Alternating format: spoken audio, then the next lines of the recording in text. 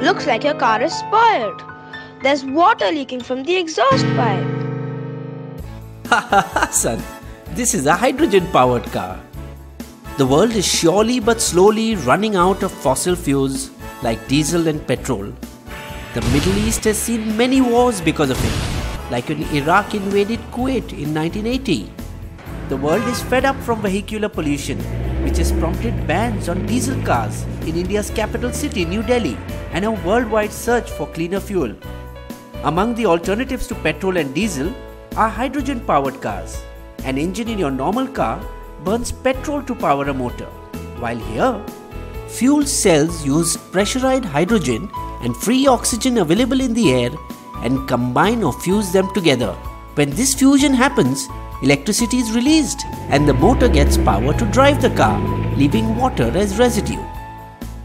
The battery is basically designed to make water, H2O, which happens to be so pure I can even drink it. And best of all,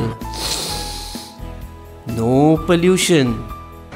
No wonder car makers are racing to make them. Toyota introduced the first ever hydrogen car, the Mirai. Indian car companies like Mahindra and Mahindra, which had introduced the Reva electric car more than 5 years ago, we are now working on a modernly designed sports electric car. Tata Motors will soon develop their own hydrogen cell powered car, Magic Iris. Electric cars are also environmentally friendly. Like hydrogen cars, they too have zero emission, that is, no black smoke. Presently, electric car technology is more efficient than hydrogen car technology. They can travel 3 to 6 times greater distances for the same amount of energy as a hydrogen powered car. They are also more convenient to use. In hydrogen cars, one needs to fill the tank with compressed hydrogen whereas in an electric car, one simply needs to charge it overnight, much like a mobile phone.